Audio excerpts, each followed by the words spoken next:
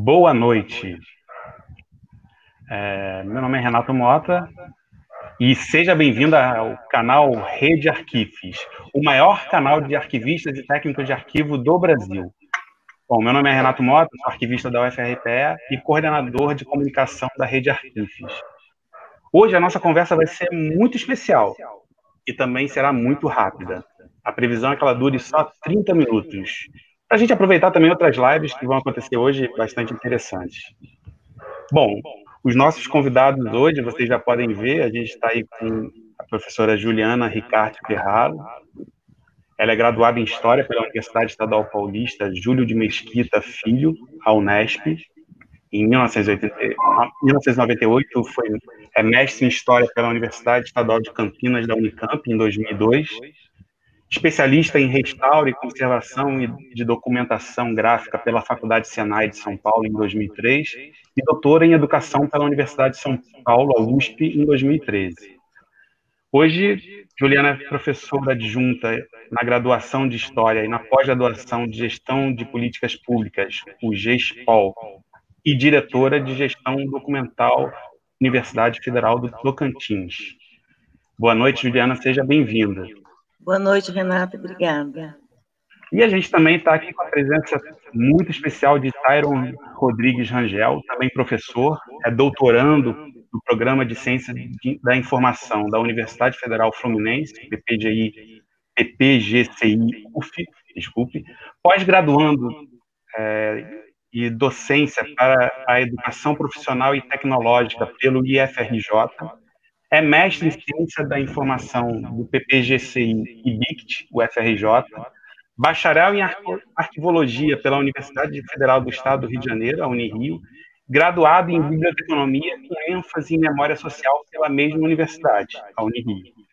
Atualmente é especialista técnico da Coordenação Geral de Gestão de Documentos do Arquivo Nacional, ou COGED do Arquivo Nacional, e professor convidado do curso de pós-graduação Estrito Senso de Gestão da Informação com ênfase em GED e SM na Unisuam. Bom, tropeçávamos nos astros de desastrada, quase não tínhamos livros em casa, e a cidade não tinha livraria. Mas os livros que em nossa vida entraram são como a radiação de um corpo negro, apontando para a expansão do universo. Porque a frase, o conceito, o enredo, o verso, e sem dúvida, sobretudo o verso, é o que pode lançar mundos, mundo. Caetano Veloso, a música Livros. E aí, nessa discussão sobre livros, experiências exitosas em gestão, preservação, descrição e difusão de documentos arquivísticos em instituições federais de ensino. Um nome grande, mas diz muita coisa. Então, eu queria perguntar para vocês, Tyron e Juliana, enquanto organizadores, falassem da motivação, inspiração e da impressão de vocês sobre o livro e os artigos. Ou seja, que livro é esse?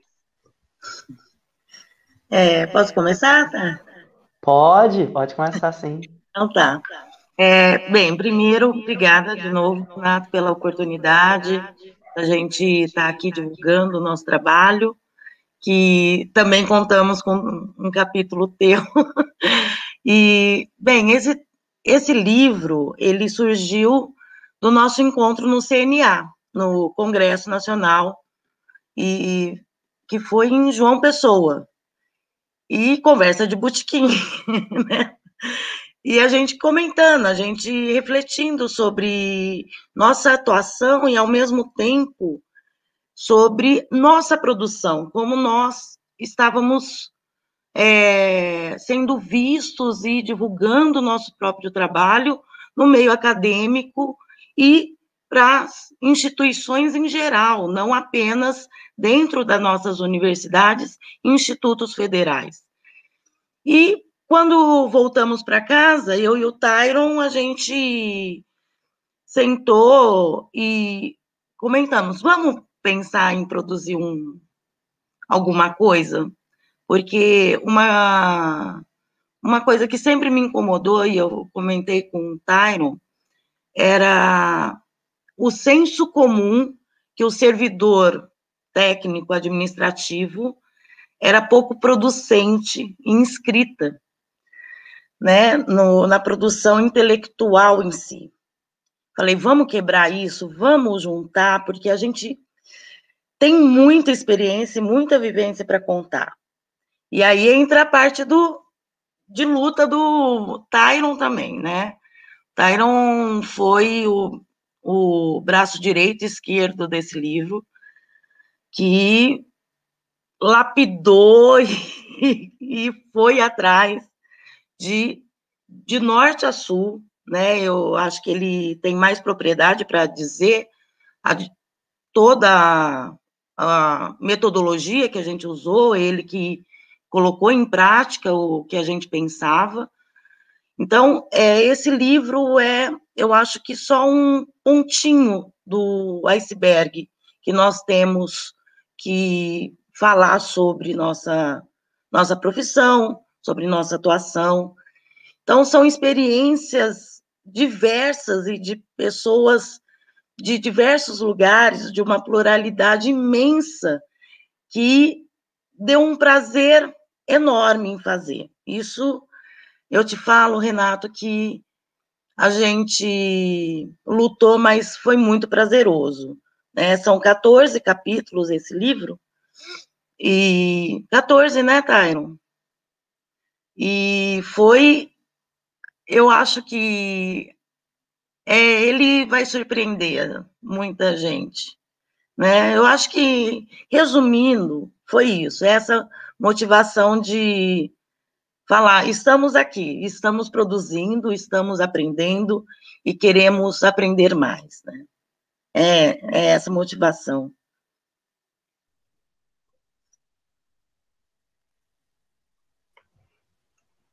Bom, é isso. Então, Tyron, para você.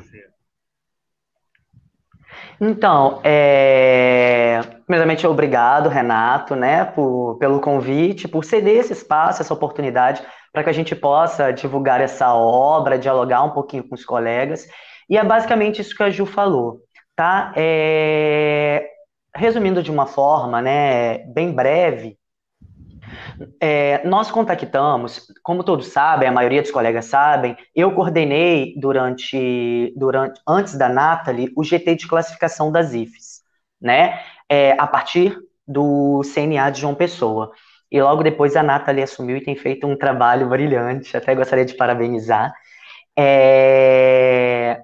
Então, né, durante a, a, minha gestão nesse GT, a coordenação do GT de classificação, nós tivemos um trabalho hercúleo, claro que um trabalho colaborativo, né? Eu só reuni os colegas é, em levantar o contato de toda a rede dos arquivos das instituições de ensino superior e também técnico-tecnológico, no caso das, dos institutos federais, tá? De todo o Brasil. Então, nós conseguimos montar uma listagem com quase é, 200 contatos né, efetivos dessas instituições. E o que nós fizemos? a partir do momento que a gente decidiu montar esse livro, em iniciar de fato esse projeto, nós pensamos, Ju, mesmo que saiam 40 volumes, vamos contactar todas as instituições de ensino? Ela falou, vamos, é um desafio. E aí nós começamos, nós enviamos e-mail para toda a listagem que nós tínhamos na época, obviamente, né, dos arquivos, dos setores de arquivos, das instituições né, de ensino superior e também institutos federais. E, obviamente, nessa escolha metodológica, nós já tivemos uma, uma ampla resposta do ponto de vista do lugar dos arquivos nas estruturas institucionais. Né? E isso já foi um próprio ponto nefrágico para que nós, para que nós não tivéssemos ou não obtivéssemos a resposta do convite a muitas instituições arquivísticas, a muitas unidades arquivísticas, visto que essas unidades arquivísticas estão subordinadas às vezes, em boa parte das vezes, ao setor de administração, ou então tem dois degraus, né, numa subcoordenação é, dentro de uma diretoria maior de administração. Então, nós, é, em alguns casos, nós mandamos e-mail para o gabinete do reitor, em, outro casos, em outros casos, chegamos a enviar e-mail para pró-reitores, porque nós não localizamos nos ambientes institucionais, né, é, expressos nos sítios, nos sites institucionais, o contato efetivo do serviço arquivístico. Então, esse já foi o primeiro problema que nós localizamos nessa metodologia. Mas eu acho que, ressalvados todos esses problemas, eu acho que esses 14 trabalhos, eles representam, como a, a Ju disse, a ponta do iceberg de um trabalho tão importante que a classe arquivística realiza no âmbito da, da, do Ministério da Educação no Brasil, né?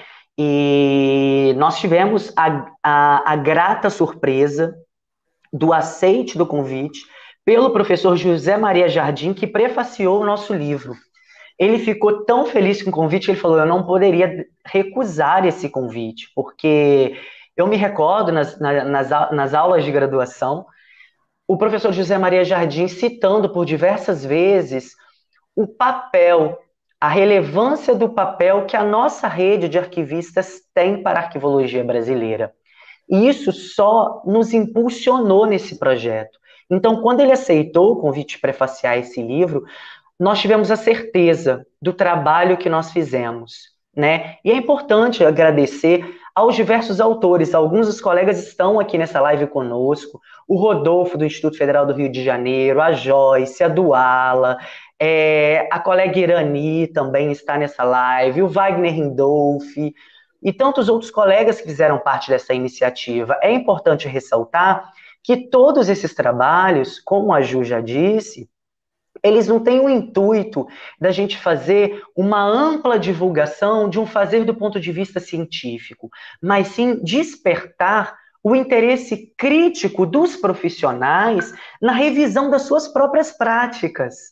Né? Isso foi o mais gostoso. A gente perceber ao longo do processo de desenvolvimento de escrita desses profissionais, arquivistas, técnicos de arquivo, ou profissionais de outras áreas né, de formação, mas que são atuantes é, da área de arquivologia, dos arquivos institucionais, como que eles veem o seu fazer né, de forma crítica, como que eles enxergam a sua prática profissional e como eles criticam essa prática profissional. E isso foi o mais prazeroso. Então, o livro ele está disponibilizado gratuitamente, tá? O Renato, vou pedir ao Renato depois, se possível, que ele coloque é, ao término da nossa live o link para acesso aqui na descrição do vídeo. O download é gratuito da obra, então eu peço que vocês leiam, que vocês compartilhem, nós já recebemos né, é, o, o, pedido de alguns outros colegas para que nós façamos outras obras, né, é, também dentro da rede do Arquifes. Então, nós convidamos os colegas a participar dessas iniciativas. Se vocês tiverem ideias também para que a gente possa tocar, convidamos vocês para integrar esse projeto com a gente, porque o objetivo é esse: é que a gente possa registrar as nossas práticas profissionais que a gente possa, ao mesmo tempo que, é, desse registro, repensar de forma crítica o nosso fazer profissional e trocar experiências. É isso. Perfeito. É... E Tyron, Juliana, queiram falar. Esse livro, quais são as instituições que estão participando, os atores que estão participando? Vocês poderiam dar rapidamente um panorama assim, de como é que está constituído esse livro? Claro, eu vou passar rapidamente, tá? É... Eu não vou ler o título dos capítulos, não vou dar spoiler, mas eu vou falar mais ou menos quais as instituições tá, integram essa obra, que é uma obra coletiva, gente, feita a muitas mãos, né? Eu e a Ju tivemos o carinho e o cuidado de coordenar isso tudo e até peço desculpa aos colegas autores, ao Pedro também está aqui, nosso colega Pedro, é, pela demora que saiu o livro, porque foi um, nós fizemos tudo, como a Ju disse, né? Nós revisamos o livro, até gostaria de agradecer publicamente a, ao, ao, ao Luiz Antônio Ferraro, pai da Juliana, que revisou ortograficamente todos, todos os capítulos para gente de forma gratuita, né? E é, esse processo de, de editoração e revisão é, é, a parte mais trabalhosa do livro e a mais custosa do ponto de vista de recursos humanos e financeiros. Então, demorou um pouquinho mais por conta disso, porque nós fizemos tudo. Mas estamos extremamente felizes com o resultado, tá bom? Então, nós iniciamos o livro com uma breve apresentação, né, onde a gente só apresenta o livro, explica um pouquinho de tudo isso que a gente já trouxe aqui para vocês.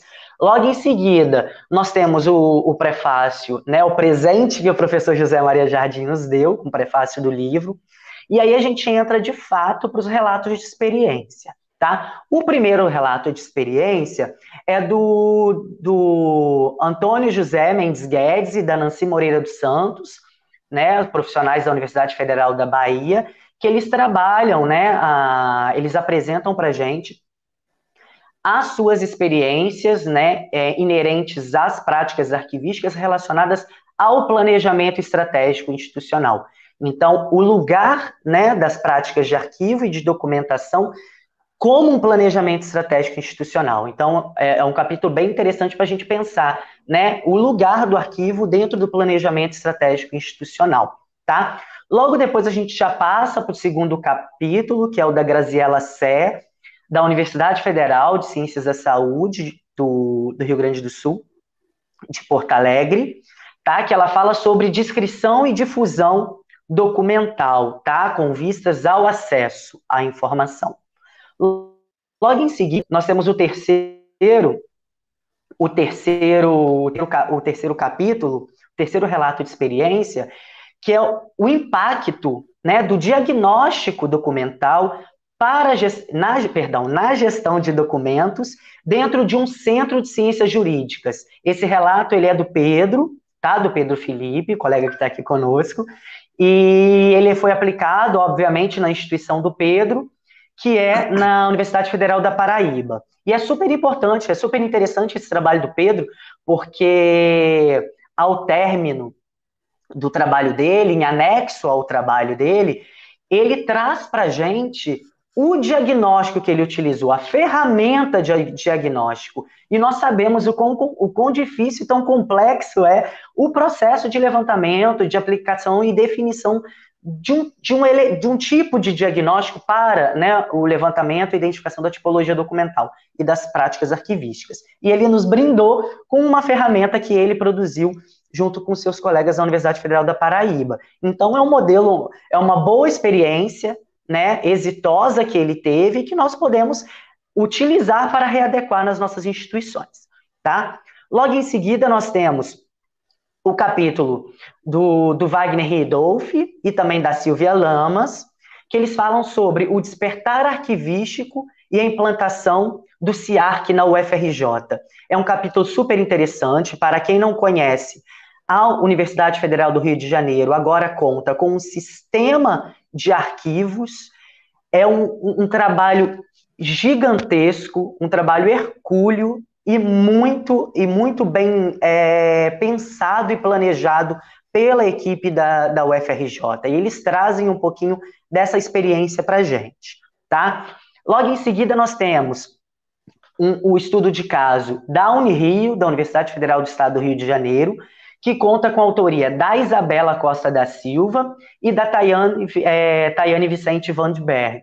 Tá? Elas falam sobre a experiência do Arquivo Central da Unirio e os desafios para a gestão e a preservação de documentos, porque é um arquivo central, né? Então ele conta é, na Unirio com, com essas duas atividades arquivísticas, tanto com, é, conta com a gestão, como também com a preservação dos documentos. E elas trazem um pouquinho desse relato para a gente. O próximo capítulo, ele também é aqui do Rio de Janeiro, é da Universidade Federal Rural do Rio de Janeiro, da Daniele Costa, da Valdineide dos Santos Amaral e do Thierry Xavier de Oliveira. E eles falam um pouquinho para gente é, sobre as experiências arquivísticas relacionadas à memória e à sensibilização institucional. Claro, é, partindo da perspectiva da gestão arquivística dentro do contexto institucional. É um trabalho super interessante também, tá? O próximo trabalho vem da Paraíba, é do Mardônio Lacedo Santos Júnior, e ele fala para a gente sobre o catálogo né, sobre a experiência de criação de um catálogo como fonte de descrição e difusão dos documentos arquivísticos históricos no Instituto Federal da Paraíba. Então, nós temos aqui uma interface já partindo para, saindo um pouquinho da gestão e entrando mais nos arquivos históricos. Tá? O próximo é da Daniela de Oliveira Pereira e do Isamu Endo, que é um relato de experiência sobre um projeto de extensão. Esse projeto de extensão, ele, ele visa, né, o, e tem como, como objeto de estudo o arquivo permanente da Escola de Minas, da UFOP, da Universidade Federal de Ouro Preto. Então, eles objetivam apresentar um resgate, né, é, e a preservação da memória dessa escola, né, de Minas Gerais, da Universidade Federal de Ouro Preto. É super interessante esse trabalho também, tá? O próximo vem de Juiz de Fora, aqui de Minas Gerais também, é, da Universidade Federal de Juiz de Fora, e o relato é apresentado pela Andréia de Freitas Rodrigues e pelo Luiz Henrique de Souza Giacomo, que agora já foi, eu acho que para a Universidade Federal de, de Goiás, se eu não me engano, ou para o Instituto Federal Goiano. Né? Na época ele era, ele integrava o serviço arquivístico, né, a unidade arquivística da Universidade Federal de Juiz de Fora, mas agora ele já passou para o concurso como arquivista e já está em outro estado, mas de toda forma ele apresentou esse relato junto com a Andrea, que abrilhantou esse livro, né? E é um relato muito bem escrito, muito bem pensado, muito bem estruturado, que eles falam sobre a preservação do acervo arquivístico na Universidade Federal de Juiz de Fora, tá? O próximo é do Eduardo, do Eduardo Santos, Eduardo Luiz dos Santos e da Daniela Aparecida Rodrigues, e vem lá da Universidade Federal de Viçosa, também em Minas Gerais. Eles falam sobre a importância das ações de extensão para o desenvolvimento das atividades no Arquivo Central e no Arquivo Histórico da Universidade Federal de Viçosa, tá? O próximo também vem da Universidade Federal do Rio de Janeiro, e ele é de autoria da Jacilene Alves Brejo, e, também, e da Silvia Lhamas, que também colaborou com outro capítulo juntamente com Wagner Ridolfi. Tá? Aqui ela traz para gente, ela apresenta para gente as diretrizes para implantação e, use, e uso da base é, Minemosine da Universidade Federal da, do Rio de Janeiro. O próximo capítulo vem do Rio do, do Sul do Brasil, tá? É, é do Murilo Billy de Sheffer, ele fala sobre as experiências e perspectivas na gestão arquivística de documentos da Universidade Federal da Fronteira Sul. E o antepenúltimo capítulo volta para o Rio de Janeiro novamente, é do Instituto Federal do Rio de Janeiro, de autoria da Duala Pessoa Rosário, do Rodolfo Guimarães Pereira e da Joyce de Oliveira Farias. E eles falam um pouco para a gente, eles compartilham com a gente como que foi o processo de institucionalização do serviço arquivístico tá, dentro do Instituto Federal. E eles utilizam, eles trazem para a gente também como foi o processo de implantação do processo administrativo eletrônico. Né? Um trabalho muito bacana que eles contam um pouco da história do instituto e como foi essa implantação do processo administrativo eletrônico, que hoje é o caos para nós arquivistas. Representa literalmente o caos nas nossas práticas arquivísticas, principalmente nesse período de pandemia, onde os reitores né, e, os, e os gestores estão querendo informatizar e modernizar todas as atividades arquivísticas. O penúltimo arquivístico, é, arquivo, perdão, nosso capítulo, é de autoria da Juliana, e da Raíssa Kelly Marinho, onde elas apresentam para a gente algumas perspectivas arquivísticas, né, a partir de uma análise da, da gestão arquivística da Universidade Federal do Tocantins. E o último capítulo é do queridíssimo Renato Mota, onde ele traz para a gente um panorama da rede nacional é, da rede nacional de arquivistas das IFES, da rede Arquifes, né? Que esse capítulo é, é um produto, é um dos muitos produtos que ele, que ele vai apresentar em breve para gente. Ele já nos brindou com uma partezinha da dissertação dele, uma pequena parte né, da dissertação dele é, de mestrado no programa é, de pós-graduação em gestão de documentos e arquivos, PPG-ARC da Unirio, e ele traz para gente um pouquinho esse recorte sobre a, a rede Arquives. É mais ou menos isso. Beleza, Tyron, obrigado. E, assim, já faltam só cinco minutos a quatro minutos para a gente terminar. E perguntar, Juliana, para você, como é que foi a experiência de participar dessa publicação né, e para a instituição e como você viu também esse panorama de todos esses conjuntos de é, capítulos que compõem um livro? Para você, qual foi a sensação quando você se deparou com esses textos e com essa produção? Bem, é, foi realmente uma surpresa. Primeiramente, porque a gente pensou que fosse chover trabalho e não ocorreu. Eu acho que a, a questão de correria do dia a dia, a timidez de, nossa, mas eu nunca produzi assim um artigo, um capítulo, acho que pode ter travado um pouco os nossos é, colegas e pares, mas foi uma surpresa muito gostosa a qualidade dos capítulos que recebemos, a dedicação que eles tiveram, com prazo, né? Se furava um prazo, eles, eles falavam, ah, eu furei, por favor, né? É, então, essa motivação deles, essa paixão deles também me envolveu demais. E um grande, uma grande coisa que ficou para mim, Renato, é a gente não está sozinho. Né? Eu sempre me senti muito sozinha, porque eu tenho que falar que a diretoria de gestão documental da UFT surgiu com um projeto particular meu e do professor Ariel, que está nos assistindo. É, ele, sempre envolvido com arquivo, a gente começou a pensar no arquivo UFT, dentro do nosso campus. Então, ele foi, é, pediu afastamento para doutorado, eu fiquei e, e, fui levando o projeto que virou é, a diretoria de gestão documental para os sete campos da UFT. E eu, muito sozinha.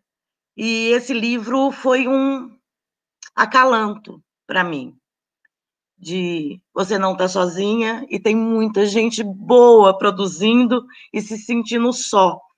Eu acho que esse não pode ser o único livro da, da nossa rede. Tem muita gente boa para produzir ainda e mostrar a cara. Eu, eu fiquei encantada, eu e o Thay, a gente leu e releu cada capítulo várias vezes. É, não apenas o meu pai, de uma forma muito generosa, é, em nos dar de presente a revisão dele, né? E então eu, eu, eu acho que vocês vão gostar do livro e eu fico mais contente ainda ele ser gratuito. Eu acho que livro, você fez uma citação linda do, do Caetano. É, eu acho que ele tem que ser para todos, né? E como eu sempre falo, livros, pessoas e músicas nunca chegam em momentos errados na nossa vida. E espero que esse livro chegue num momento bom para vocês e que vocês curtam como eu e o Tai curtimos e nos apaixonamos por cada capítulo ali, né, escrito e doado para gente, para se tornar público de uma maneira que eu acredito que tenha que ser, né, livro para todos, educação para todos, e não apenas para uma elite que a gente já conhece tão bem no nosso mundo, né? Então é isso, é meu acalanto. Olha lá, é. o Ariel. Obrigada, Ariel. Justamente. É, eu, eu, eu agradeço gente... você, Ariel, por essa. Por eu estar aqui, tem muito do Ariel, do projeto dele, que a gente começou junto em 2013, 14, Arquivo UFT, né? Justamente, tem muitos colegas aqui participando, a própria Irani nos parabeniza, a Irani está lá na, na Universidade Federal é, do Crato, não, Crato, não, Universidade Federal da Unilab, é a Unilab, Universidade Lusófona Brasileira, que fica no Ceará. Uhum. É, e, assim, ela aponta, e aí, teremos, quando teremos um novo livro para novas contribuições? Eu acho ah. que a gente pode encerrar ah, fazendo essa. Renato, então, antes do Tai responder essa, porque eu já puxei a orelha dele sobre o próximo, agradecer a Associação Arquivística de, de São Paulo. Nossa, que foram mãe, pai, avô, avó, tio, tio, padrinha pra gente. e fez possível essa gratuidade. É. Pode responder, tá? Ver... Verdade, gente. A... Na figura da, da Ana, né, presidente da, da Associação de Arquivistas de São Paulo, nós pudemos é, a, a, a disponibilidade, a possibilidade de publicar esse livro gratuitamente. Né? Isso é muito importante, porque quem já publicou o livro sabe o altíssimo custo envolvido nas questões editoriais. Né? Um livro não sai por menos de R$ 1.500 por baixo. Né? Isso tirando a questão do capista, dos revisores. Um, um, um, revisor vai cobrar 10 reais a lauda, né? E nós pudemos fazer isso tudo de graça. Então foi um, uma grata surpresa. Então, muito obrigado, Associação de Arquivistas de São Paulo, por ceder né, esse espaço no website de vocês para download da obra gratuita na biblioteca digital da associação e também por retirar o ISBN, por permitir que a gente pudesse participar de uma forma parceira e colaborativa de vocês. Agora, dando um spoiler, tá? O próximo livro já tem tema, não tem ainda, tem, tem uma temática ampla, a gente ainda vai discutir Deixar ele mais redondinho, né? Precisamos agendar as reuniões, só que foi tão corrido agora que a gente vai pensar nisso para soltar no, em, em, janeiro, tá? A nossa, a nossa ideia é que em janeiro a gente já faça o lançamento do edital e da carta convite para recebermos os capítulos. Enfim, o próximo livro falará sobre centros de memória e memoriais universitários das universidades e das instituições federais de ensino. Por quê? É um grande problema, tá? E uma grande discussão. A gente está aqui para incomodar.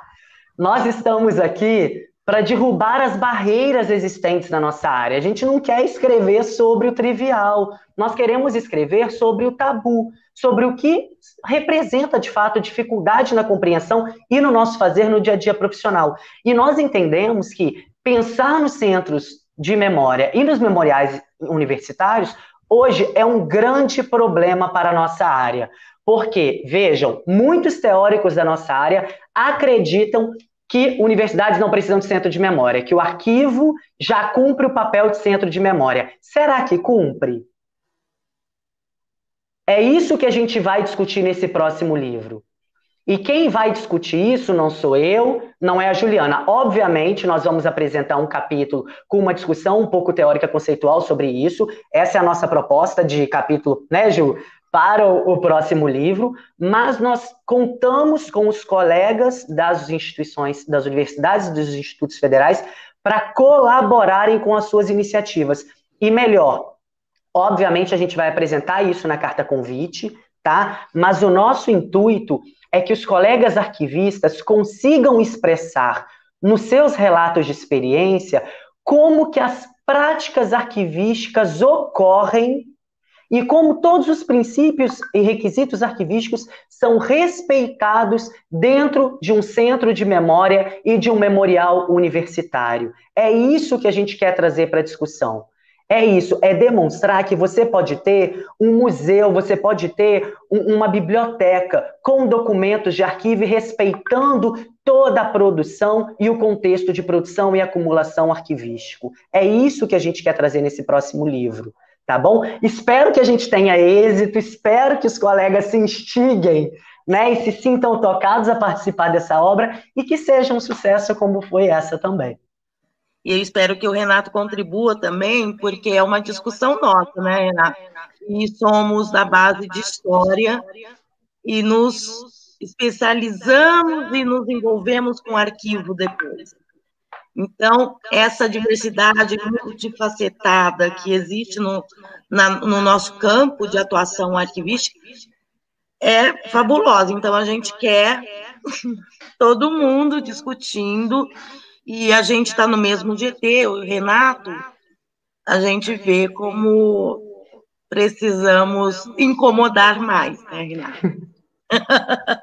e, a, ah, e agradecer você, Renato, a Rede Arquives. Falar para o pessoal ver o blog, que está muito legal o blog da né? E a gente se fortalecer.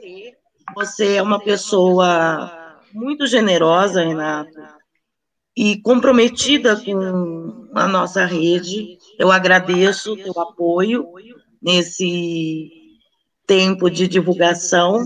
Eu não tenho nem como agradecer, né? Eu e o Thay, a gente só gratidão a você, à Associação Arquivística, aos meninos e meninas que escreveram, aos meninos que estão nos assistindo. Eu acho que até o Domingos da UNB apareceu aqui. Saudade. o Alex da Unifal, que, tem, que me ajuda bastante, né? É uma rede também de bons pares que nós temos no Arquives, viu? A gente tem que só agradecer vocês. Tá, tá certo, Juliana. Tyron, agradeço. É, infelizmente a gente acabou. É, até porque a gente tem aí mais outra live acontecendo agora, então, para não prender todo mundo, tem uma live muito boa da professora Natália acontecendo aqui no, no YouTube. Então, eu vou finalizar, agradecer a participação de todos e fica aí o convite dos é, tanto de Tyron para Juliana, de Juliana para participar dessa nova edição que vai ter do livro. E é isso, gente. É, obrigado e a gente vai se encontrando nos eventos, tanto dos fóruns arquivos, seja virtualmente quanto presencialmente. Então, boa noite e até lá. E vai ter depois uma outra live na semana que vem. Né? Então tá bom, gente. Tchau.